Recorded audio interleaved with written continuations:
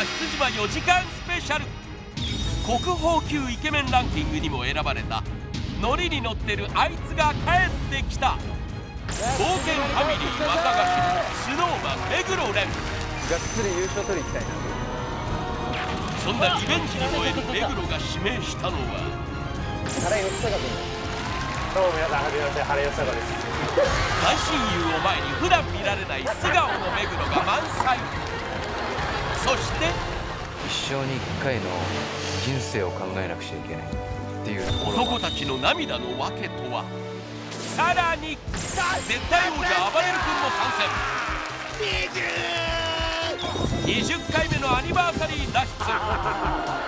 そして身体能力抜群おじさんコンビも。投げちゃダメなんですって